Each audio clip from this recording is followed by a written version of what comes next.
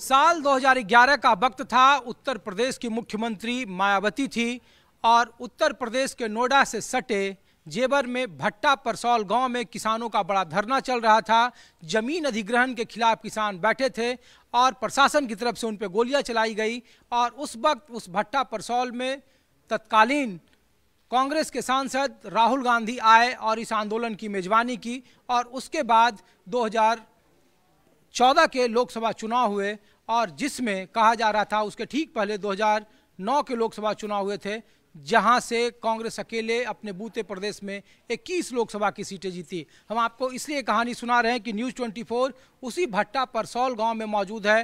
वक्त अब 2024 का लोकसभा चुनाव आने वाला है। वो साल दूसरा था, ये साल दूसरा है और ये जानने के लिए कि 2024 के लोकसभा चुनाव में क्या भट्टा परसौल में भी चुनावी मुद्दे वही हैं जिस राहुल गांधी की वजह से भट्टा परसौल देश के मानचित्र पर आया, उस भट्टा परसौल की राजनीतिक स्थिति क्या है? आम लोग क्या सोच रहे हैं? क्या 2024 में किसकी सरकार बनेगी? इंडिया बनाम एनडीए पर कौन भारी पड़ेगा? इन्हीं सब चीज़ों को जानने के लिए हम यहाँ के गाँव में मौजूद लोगों के पास आए हैं और ये जानने के लिए कि 2024 के लोकसभा चुनाव में कौन किस पर भारी पड़ेगा। चाचा, पहला सवाल आप ही से है। कि भट्टा परसौल में राहुल गांधी आए थे और तब देश के मानचित्र पर लोगों ने जाना कि भट्टा परसौल कोई गाँव है। अब वो साल दूसरा था ये साल दूसरा है। अब 2024 के लोकसभा चुनाव क्या- है। साल क्या पंचवर्षीय योजना दूसरी है।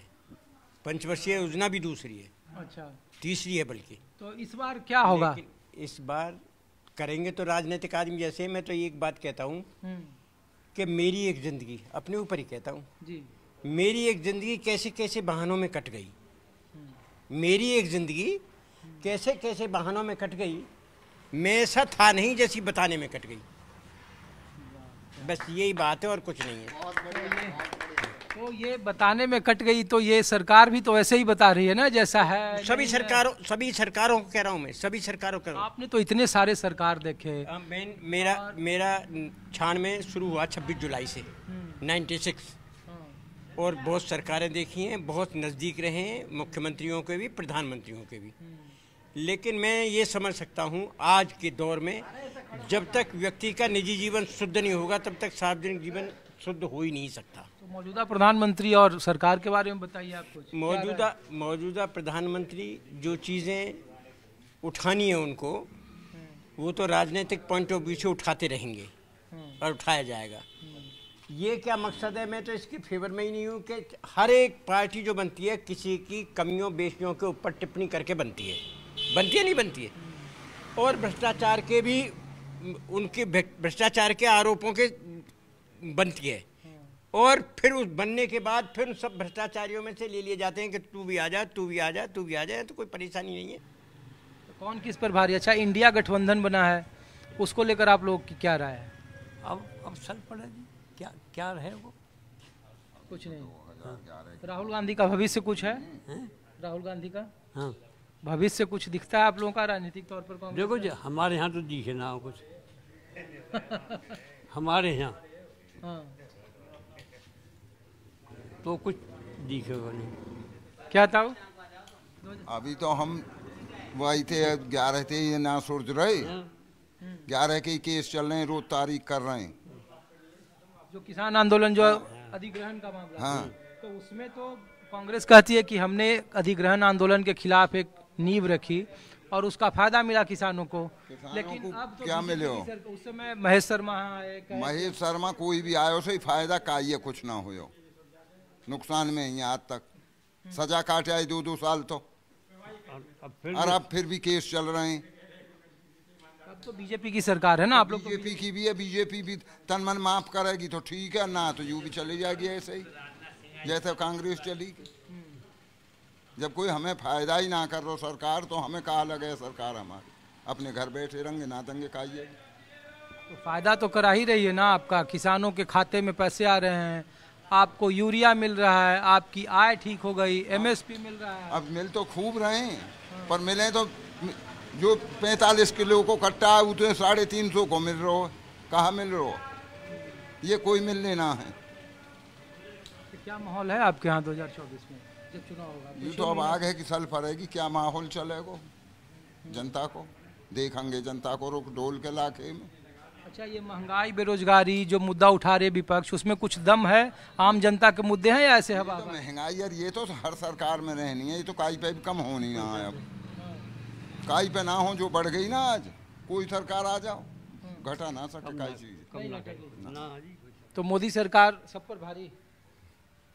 अपनी वो भी ठीक है पहली भी ठीक ही जो आवे वो ठीक ही रहे। गलत क्या चर्चा क्या है आप लोगों को? चैनल पर सभी सुनने वाले भाइयों को नमस्कार। हम्म, बात ऐसा है कि महँगाई तो है ही है और विकास वाली बात है तो आप गाँव में घुसते ही देख लो। गाँव में जड़ में जबकि कानून नहीं होना चाहिए। दो ठेके हैं देसी भी और इंग्लिश भी। किसी गली में किसी भी यहीं जाके देख लो पानी नहीं निकलता। हमारे शमशान घाट देख के जाके देख लो कहीं कुछ नहीं है। पूरे गाँव में शौचालय नहीं है। शमशान घाटों की बुरी हालत है। शौचालय में तो सरकार ने कहा कि घर घर शौचालय है। सबसे ज़्यादा इस मोदी सरकार ने नौ साल में शौचालय ही बनवाए। आप करो भट्टा में सर शौचालय नहीं है। भाई साहब एक भी जाके देख लो। और मुझे दिखा दो कि कहाँ अस्पताल है हमारा। कहीं कोई अस्पताल नहीं है। बेरोजगारी महँगाई कोई मुद्दा ये नहीं ये थोड़ा हिसाब से बोल रहे हैं। मैं थोड़ा ओपन बोल रहा हूँ। ठीक है? हाँ। कोई सरकार आ जाओ काई तो महँगाई पर कोई रोक नहीं चाहे कोई सरकार आ जाओ। हाँ देखो। यही यही सवाल यही सवाल लोग पूछते हैं। बीजेपी भी यही कहती है जो बाबा कह रहे हैं। क्या कह रहे हैं? कि महँगाई कोई भी आ जाए ऐसे ही ऐसा कुछ नहीं है। महँगाई कैसे नहीं रुकेगी? हो रहा केजरीवाल मुफ़्त बिल 200 यूनिट वाहन फ्री लेडीजों के लिए। यहाँ क्या करा है? ये तो देखो आप लोग घूम के देखो। इस गाँव में करा क्या? कहीं डस्टबिन नज़र आ रहा है? आप सरकारी ट्यूबवेल कुछ नहीं है। ट्यूबवेल को माफ़ चल रहा है। कहाँ? अरे यार किस लिए भगत जी? हाँ। कोई माप फाप नहीं है। अरे भाई साहब रुको। आप लोग तो अरे पूछ रहे हैं। ये बताओ भाई साहब कि क्या माहौल है 2024 चुनाव के लिए? अब तो सात आठ महीने का वक्त रह गया है। भट्टा पर सवाल भट्टा पार्सल जो है किसानों की भूमि है आंदोलन भूमि है। जाट बहुल एरिया है। यहाँ के जो बच्चे हैं वो ज़्यादातर फौज में और पुलिस में जो है ज़्यादा बच्चे जाएँ उसकी तैयारी करें। किसानों के साथ जो है 2011 में हुआ, उसके बाद बार बार सरकार लगातार आती रही, जाती रही। सरकार के लोगों, सरकार के नुमाइंदों से चाहे वो सांसद रहे हों, विधायक रहे हों, उन सबसे लोग मिलते रहे और आश्वासन मिलते रहे, केस अब भी चल रहे हैं उनके ऊपर। पहली बात। दूसरी बात, महँगाई से भी लोग परेशान हैं और जो चार साल की अग्निवीर योजना इन्होंने लेके आए, उसकी वजह से जो यहाँ के रोज़गार था, उस पर विराम लगा है। तो लोग बीजेपी से इस समय परेशान हैं। वो लोग बीजेपी को वोट नहीं करेंगे। करेंगे किसको, ये अभी दूर की बात है। अच्छा बीजेपी को नहीं करेंगे ये तय है करेंगे किसको ये तय नहीं? ये बाद की बात है। अभी जो है प्रत्याशी देख के दूसरे को वोट करेंगे जो मज़बूत दिखाई देगा। अच्छा एक बात बताइए लोग पूछते हैं कि अब देखिए राहुल गांधी के लिए कल कह दिया गया कांग्रेस के प्रदेश अध्यक्ष बदला कहा कि राहुल गांधी अमेठी से चुनाव लड़ेंगे। राहुल गांधी ने भट्टा परसौल राजनीति के लिए उन्होंने उनको सबसे ज़्यादा और उर्वरा भूमि दी। राहुल गांधी को लेकर या कांग्रेस को लेकर 2024 में आप लोगों को लगता है कि कुछ करिश्मा होगा लड़ाई होगी नहीं होगी? आंकड़े तो बेहद कमज़ोर हैं। सौ में से दो परसेंट जो लोग हैं वो कांग्रेस के समर्थक हैं। वो आंकड़े आपकी वजह से कमज़ोर दिखाई दे रहे हैं मीडिया की वजह से। मीडिया जो है ऑलरेडी उन्हीं खबरों को ज़्यादा दिखाती है जो मौजूदा सरकार के पक्ष में हों। उसकी वजह से ज़्यादा कमज़ोर हैं वो। अदरवाइज़ हम लोग दस साल का शासन हमने देखा है बीजेपी का जिसकी वजह से बहुत सारे मुद्दे हैं। ऐसा नहीं है कि अब लोग जहाँ सिलेंडर पहले 500 का या 400 का था आज 1100 का है। तो जीएसटी कलेक्शन जो है ना उनका बढ़ रहा है लेकिन हमारा आम आदमी का जो परेशानी है वो वो भी बढ़ रही है लगातार।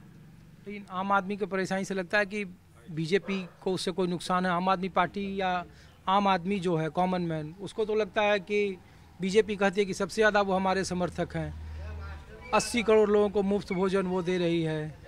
उनका कहना है कि गैस सिलेंडर के दाम भले ही बढ़ गए हैं, लेकिन हमने आय बढ़ा दी है। किसानों का एमएसपी का जो सबसे ज़्यादा है लिस्ट में, उसमें उन्होंने ज़्यादा दिया। तो ये सब मुद्दे हैं उधर कह रहे थे भाई साहब की बेरोजगारी महँगाई कोई इशू नहीं है नहीं जो जिस व्यक्ति का परिवार में चार व्यक्ति हैं और वो उन चार को रोज़गार नहीं मिल रहा है उनके लिए इशू है। हो सकता है कोई परिवार सेटल हो उसका मुद्दा ना हो। रही बात एमएसपी की बात तो एमएसपी बढ़ी है ये बात सही है लेकिन खेती में लागत कितनी बढ़ी है वो वो भी देखने वाली चीज़ है।